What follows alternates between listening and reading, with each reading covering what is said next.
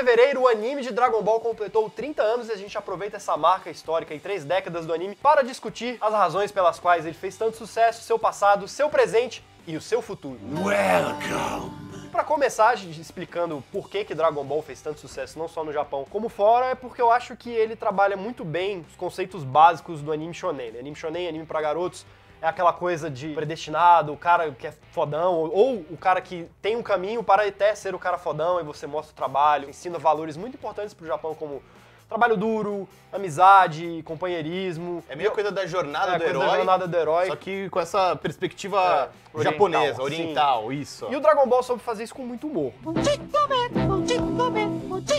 Até mesmo na fase Z. A fase Z vai ficando mais séria, mas ainda tem seus. Tem, a ingenuidade do Goku continua a a mesma, ingenuidade né? continua a Tipo, então- não muda nada. Acho que até um dos pilares, assim, da história e do carisma, né, do Goku. Você sabe que ele é bonzinho, ele é o cara dedicado, trabalhador, e isso faz toda a diferença na história. É por isso que ele supera os desafios Ele e toda a acredita turma. em todo mundo. É.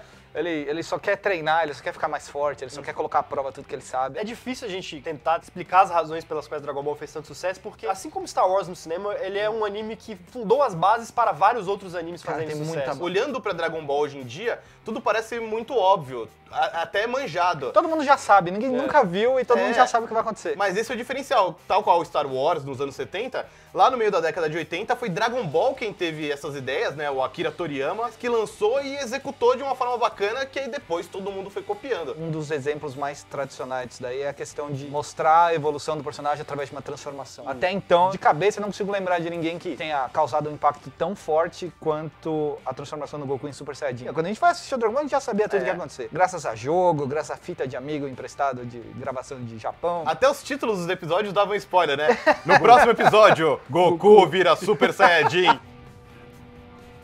acaba parecendo clichê, o que não é, porque foi ele que trouxe isso Uhum. pro, pro, pro mercado, mas todo mundo, ah, mas não tem surpresa, não, não tinha muita surpresa. Na época era surpresa pra nossa, caramba, né? E hoje, infelizmente, não tem, mas eu acho que isso não tira o mérito de forma alguma. Eu acho que talvez Dragon Ball acabou sendo vítima dos próprios sucessos. Deu tão certo o conceito de você transformar fisicamente o cara se e representar o aumento de poder, isso que acabou aprisionando, cara. É, Tipo, sem dúvida. Eles não conseguem encontrar outra forma de fazer uma evolução do Goku sem dar outra transformação pra ele. Os filmes do Dragon Ball e o Dragon Ball Super já fazem isso. Pô, o cara já ganhou duas transformações. Toda a etapa final do Dragon Ball Z, eu acho legal porque assim, ele apresenta variações interessantes dentro do tema transformações.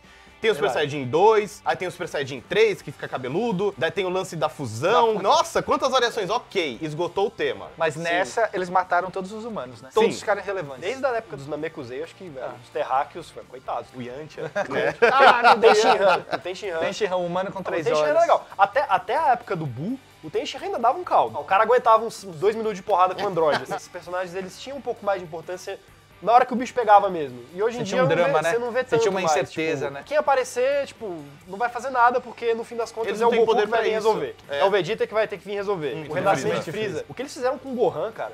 Pô, foi vergonhoso. O Gohan já foi um cara que decidiu saga, foi o cara Foi. que matou o céu. É. E você botar o cara pra apanhar de Minion do Freeza, velho. Pô, não dá, né? Sacanagem com o Gohan, pô. Eu acho triste ver como atualmente a série tá caindo de novo nas mesmas armadilhas que já caiu na época do Dragon Ball GT. Sim. Hoje os fãs mais hardcore, né, renegam o Dragon Ball GT, porque parte ruim do Dragon Ball GT é que ele criou transformações malucas, transformações que não fazem muito sentido dentro ali do, do universo. Eu acho interessantes, mas eh, são viajadas demais. Aí agora vem o Dragon Ball Super e começa a fazer uma salada de transformações, né? Você tem o, o Super Saiyajin ruivo, que é o Super Saiyajin Deus, aí tem o Super Saiyajin azul, que era a versão Super Saiyajin do Saiyajin... Do Super Saiyajin Deus. Tanto que a própria série mudou a nomenclatura, né? Em certo ponto, acho que é o Vegeta que fala, tipo, ó, eu vou chamar de Super Saiyajin Blue, ok? Parece que os caras pegaram o que que faz sucesso em Dragon Ball. Super Saiyajin, beleza. Freeza, beleza. Agora o Trunks do futuro, que vai voltar, beleza.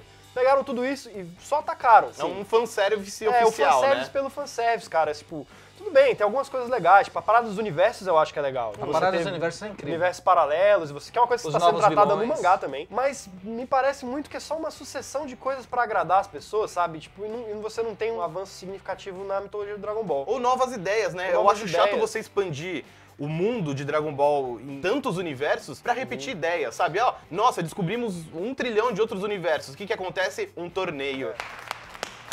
Eu acho que talvez isso também não seja só uma coisa de reflexo de mercado, como também talvez um medo de errar, né? O Cavaleiro do Zodíaco tentou isso e se ferrou grandão, né? O Cavaleiro do Zodíaco Ômega tentou inovar, tentou incorporar elementos mais ocidentais. assim. A escola, É, a a academia. escola, academia. Foi uma, uma investida muito legal de É. renovar a série. E não deu Só certo. não deu certo, os fãs não gostaram. Tanto que, no final da primeira temporada e a segunda temporada, eles se dedicaram basicamente a, te- a tentar resgatar os fãs antigos com coisas Foi. que todo mundo gosta. Cavaleiro de Ouro. Redesenhar as armaduras. É, trazer as caixonas de volta. Então eu acho que talvez a, a Toei, tendo esse exemplo já do Cavaleiro do Zodíaco, que não deu muito certo, já pegou com o Dragon Ball e falou, não, se a gente vai trazer o Dragon Ball de volta, não vamos arriscar, vamos fazer Uhum. com o que a gente já sabe. O pior é os elementos que eles usaram pra definir o ponto padrão de que, que um fã de Dragon Ball gosta, os fãs começaram a odiar. Os filmes, a galera. É é uma divisão de, de, de conceitos, assim, metade gosta, metade odeia. Fala, mas que comédia, muita comédia. Se você pegar todo o escopo de especiais de Dragon Ball, todos eles são embasados na comédia. O irmão do, do Vegeta, quando ele apareceu, o Táboro lá, então, comédia. Vinha com a esposa dele, a esposa horrível. O próprio E Batalha era uma dos, piada, dos é, Deuses, o que tem Batalha Super dos Saiyajin ruivo, metade do filme é, É pura comédia, comédia, né? eu- Eu acho legal. Eu não achei ruim também, eu gostei. É. E a galera não, não conseguiu engolir essa, essa, essa veia mais cômica pros filmes. E a série reproduziu tudo isso de novo. Uhum. Colocou o torneio. Sei lá, meu, eu não consigo imaginar um futuro promissor pra série, a menos que alguém sente com eles e fale, mano. Pera aí, coloca- né, galera? É, o que, que a vamos gente tá colocar, fazendo, vamos, né? Vamos colocar umas ideias mais, mais bacanas, Uhum. deixar de lado um pouco essa, essa ganância de querer segurar o mercado. O triste acaba sendo ver uma série que é tão fundamental pro mundo dos mangás, pro mundo dos animes, que introduziu tantas ideias originais que viraram padrão.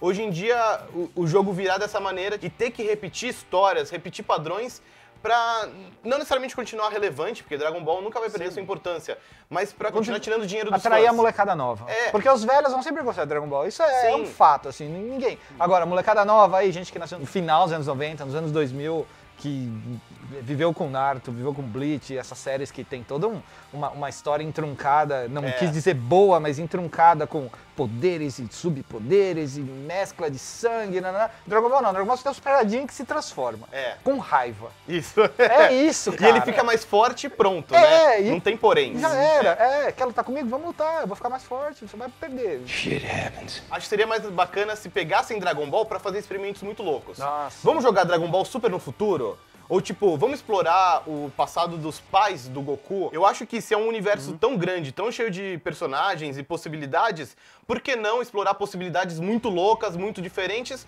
pra, sei lá, tentar descobrir novos sucessos, novas fórmulas, em vez de ficar repetindo a mesma coisa over and over again. E você, o que, que você está achando de Dragon Ball Super? O que, que você espera do presente e do futuro de Dragon Ball? Deixa aí o seu comentário, não esquece de curtir o vídeo e assinar o canal.